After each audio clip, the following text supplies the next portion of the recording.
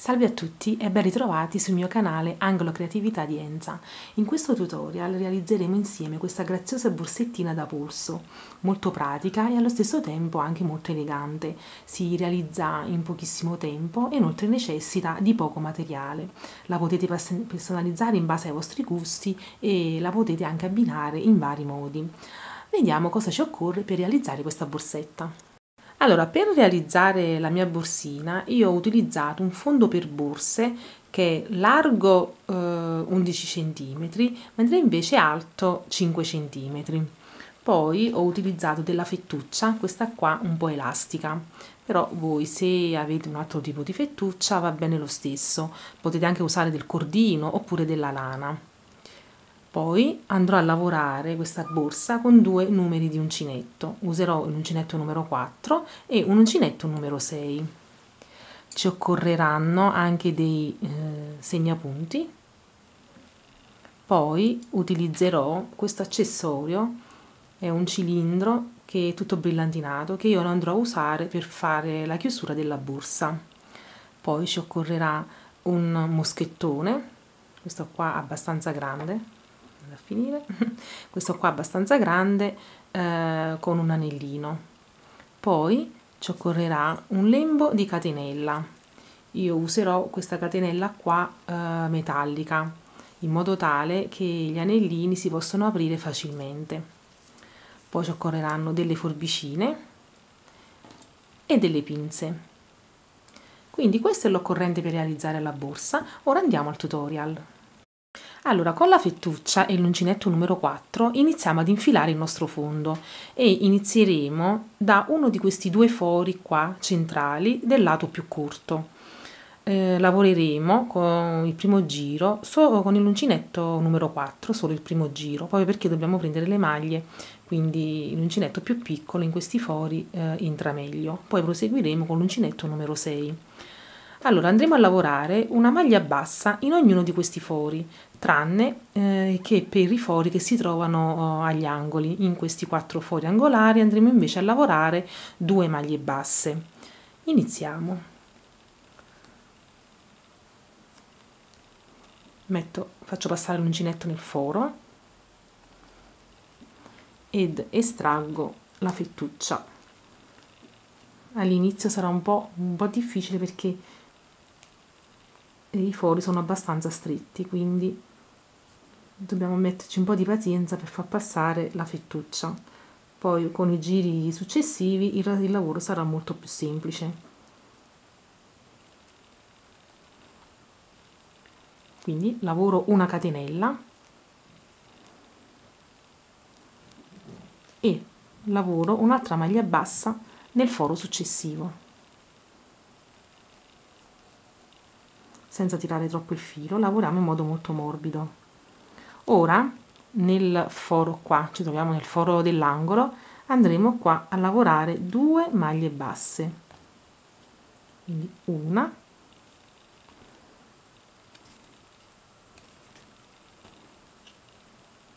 e due.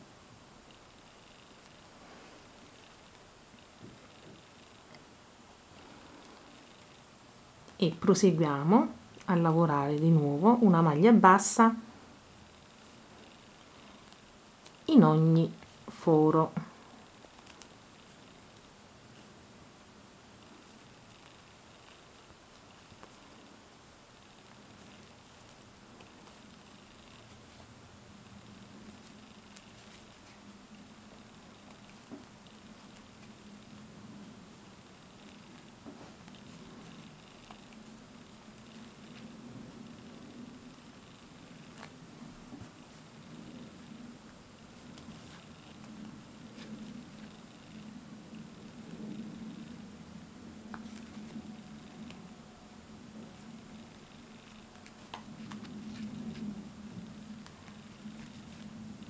ecco che siamo arrivati quasi anche all'altro angolo.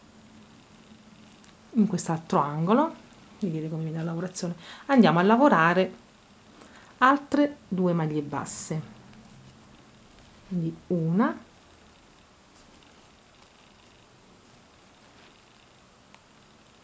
e due.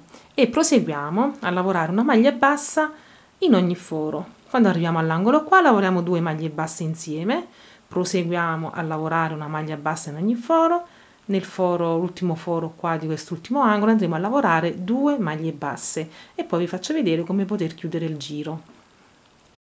Allora, arrivati all'ultimo angolo in cui abbiamo lavorato le ultime due maglie basse insieme, ora andiamo a lavorare un'ultima maglia bassa nel foro eh, dove abbiamo iniziato il lavoro, dove abbiamo lavorato la catenella. Quindi lavoriamo anche qua una maglia bassa. E in questo modo abbiamo completato tutti i fori. Ora dobbiamo cambiare l'uncinetto, quindi dobbiamo posare l'uncinetto numero 4 e prendere l'uncinetto numero 6. Ora dobbiamo fare eh, un giro eh, a punto coste, una mezza maglia alta però presa in coste. Cioè invece di prendere tutta la mezza maglia alta come siamo abituati a fare in questo modo, infatti già vi ho fatto vedere anche in altri tutorial come fare, invece di prendere la maglia qua, la maglia a costa la andiamo a prendere qua, prendiamo solo la costina dietro. Quindi facciamo passare il filo sull'uncinetto, che dobbiamo lavorare una mezza maglia alta, puntiamo l'uncinetto dietro alla maglia e lavoriamo una maglia una mezza maglia alta. Ora una volta che abbiamo fatto questa mezza maglia alta andiamo a mettere il nostro segnapunti perché dobbiamo ricordarci dove iniziare e dove finire il lavoro. Anche se non andremo a chiudere a maglia bassissima perché andremo a lavorare eh, a spirale. Quindi non chiuderemo a maglia bassissima però eh, questo segnapunti ci permetterà eh, di capire qual è il punto dove abbiamo terminato e dove dobbiamo iniziare il nostro lavoro. Proseguiamo a lavorare una mezza maglia alta in ogni maglia sottostante, presa sempre in coste. Così.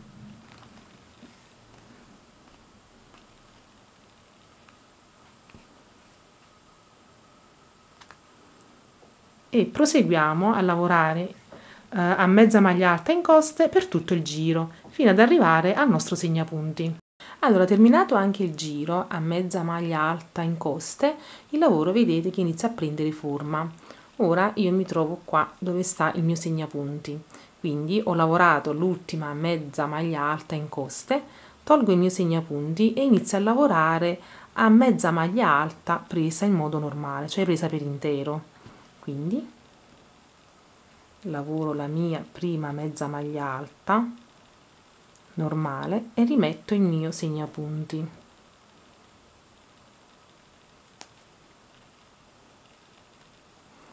E proseguo a lavorare a mezza maglia alta.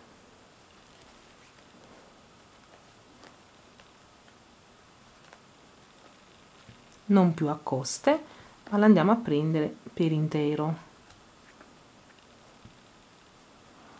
Quindi dobbiamo proseguire a lavorare una mezza maglia alta in ogni maglia sottostante per tutto il giro e per il resto degli altri tre giri. Quindi in totale dobbiamo lavorare 4 giri a mezza maglia alta normale. Allora terminati i giri a mezza maglia alta questo è il risultato del nostro lavoro vedete um, fin qui la mia borsetta misura circa 9 cm ora dobbiamo cambiare punto e andremo a lavorare a punto basso in coste. Quindi andremo a lavorare un piccolo bordino con questo punto basso in coste in modo tale da anche da poter stringere un pochino la borsetta eh, sul lato superiore. Quindi infiliamo di nuovo il nostro uncinetto togliamo il nostro segnapunti e iniziamo a lavorare a punto basso preso in coste. Quindi prendiamo solo la maglia dietro. E iniziamo a lavorare a punto basso in coste. Ora rimettiamo di nuovo il nostro segnapunti.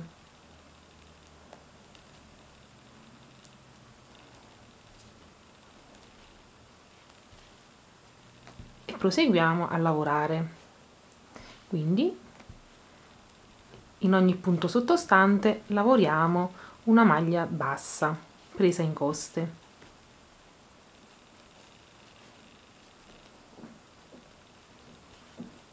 Proseguiamo in questo modo per tutto il giro e per gli altri due giri. Quindi andiamo a lavorare in totale eh, a maglia bassa in coste un totale di tre giri. Poi arrivati al terzo giro vediamo come chiudere la borsettina quindi proseguiamo a lavorare in questo modo e ci vediamo verso la fine allora, ho terminato anche i miei giri a punto basso in coste. Allora, prima vi ho detto che avrei lavorato uh, tre giri a punto basso in coste, invece poi alla fine ne ho lavorati solo due di giri perché um, tre mi veniva un po' troppo alta. Però va in base ai vostri gusti, quindi se ne volete fare tre, eh, magari provate se vi piace, altrimenti ne fate solo due. Quindi ora andiamo a chiudere il giro del tutto. Ho lavorato il mio ultimo punto basso in coste tolgo il mio segnapunti e vado a chiudere con una maglia bassissima presa per intero dove avevamo prima messo il segnapunti. Così tiriamo Ora non ci resta altro che andare a tagliare il filo, nasconderlo per bene tra il lavoro e poi passiamo a decorare la nostra piccola borsettina.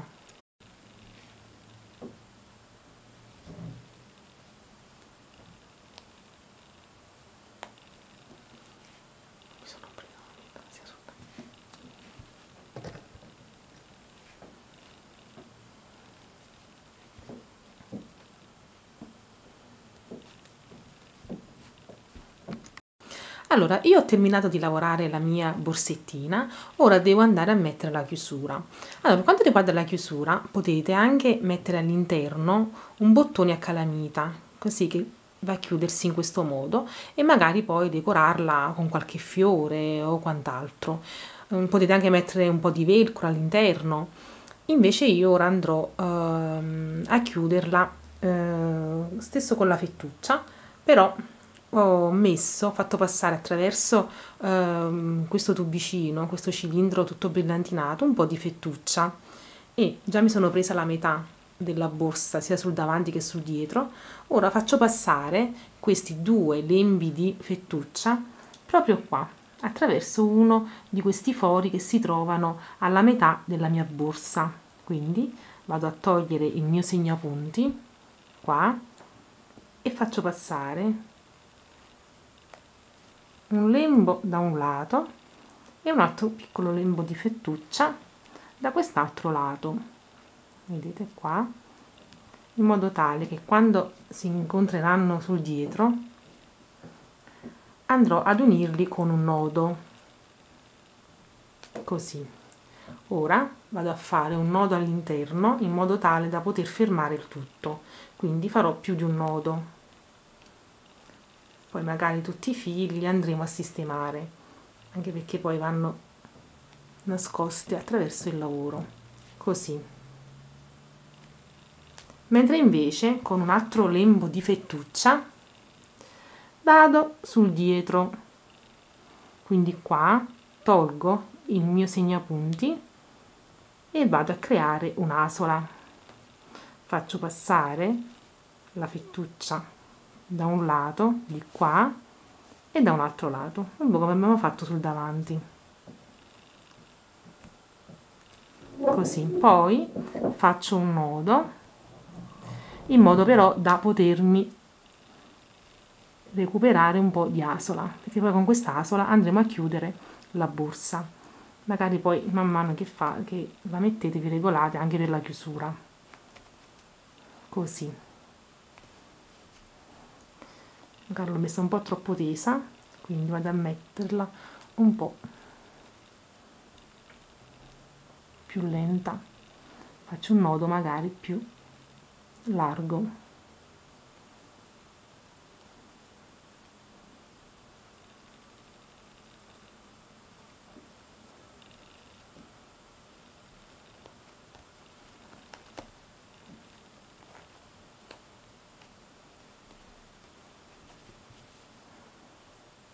ed ecco fatto. Poi vi regolate voi ehm, come metterla. Magari poi la vado a sistemare un pochino. Diciamo che questa è una delle chiusure più semplici più facili da realizzare. Non necessitano di cucire bottoni oppure fare cuciture. Ora dobbiamo solo mettere ehm, la nostra catenella per il polso. Allora con il lembo di catenella e con una pinza vado ad aprire una delle estremità della catenella, un, un cerchietto ad un'estremità, questo qua. Lo vado ad aprire e vado ad unirlo con il cerchietto dell'altra estremità della catenella. Poi prendo il mio moschettone, questo qua, e vado ad unire anche il moschettone dentro. Facendomi aiutare da un'altra pinza vado a chiudere l'anello.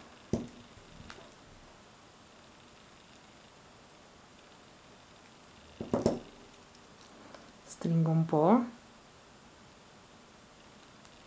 ed ecco che è terminato. Prendo la mia borsetta e inserisco il moschettone su un lato della borsa così. Ed ecco che la borsettina è terminata. Magari va solo un po' sistemata qua però questo poi lo potete fare tranquillamente voi. Bene. Magari la potete mettere al polso così e mantenerla in mano. Beh la trovo che sia comunque un'idea molto carina anche molto semplice da realizzare mm eh, un progetto che mm, si presta bene anche a poter fare un regalino all'ultimo minuto. Magari anche se avete un po' di fettuccia che vi avanzate da altri lavori potete realizzarla anche con del cordino ma anche con della lana. Insomma in base alla vostra fantasia si possono creare tantissime cose carine. Bene questo è il mio tutorial. Io spero tanto di esservi stata chiara di esservi stata utile e vi saluto e vi do un bacio al prossimo tutorial. Ciao